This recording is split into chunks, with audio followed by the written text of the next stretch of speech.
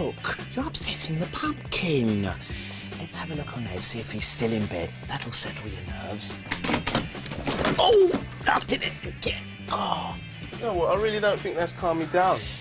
Okay, let's focus the task in hand. The plan is to uh, make you an entertaining television presenter so Uncle won't lock you up in the slammer for good in that tiny cell with Pete and his puppets. You know what, I don't mind Pete, it's, it's more his pesky puppets. I mean, let's look at the evidence so far. I've tried juggling, that didn't work, and then I tried the elocution lessons, and that didn't work, and I've only... I've got it!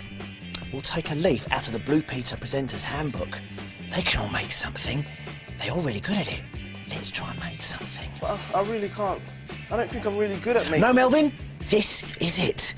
This will be the ticket out of there. I reckon everyone should be able to make something. Even Ed could, and he's only a two-star presenter. Um, um... I know what we can do! Come on, come on, Gimba. Make my day. We can carve a pumpkin for Halloween!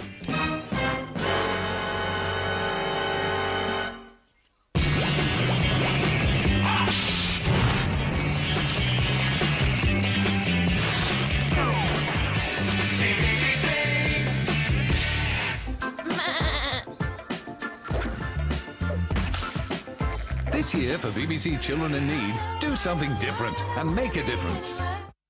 Calling all crypt kickers, coffin bangers, and maggot munchers. Get ready for the ride of your life. Is everybody ready?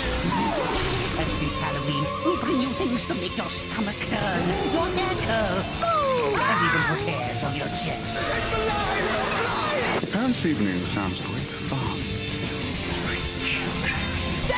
Make your Halloween fiendishly fun. Get spooked all this week on CBBC. Melvin, this is where we start to carve the face for the pumpkin. I'm not too sure about this, Gimba. I mean, I'm no match for Connie. She's a legend. She is, but you can do it, Melvin. You can. All right, I'll give it a try. Okay. No, no, no, no. This is never going to do. You need a steady hand to carve something. Let me um have a look at my book of motivational techniques, available in all good book resellers.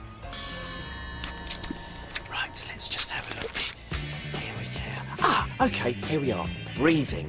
The passage of air into and out of the lungs to supply the body with oxygen.